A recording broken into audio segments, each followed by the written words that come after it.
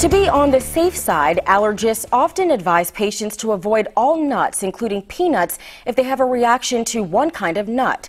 But new research shows you may not need to avoid all nuts. Registered dietitian Nancy Dell explains in tonight's Food for Thought. Many people have a skin prick or blood test to determine a food allergy, but researchers say instead consider doing an oral food challenge to find out if you're allergic to other nuts.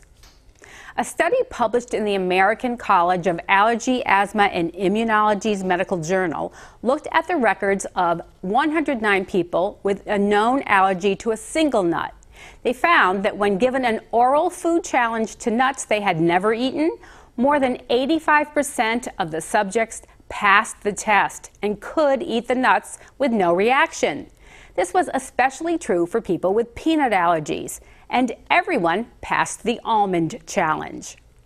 An oral challenge involves eating a tiny amount of food and gradually increasing it to see if you have a reaction.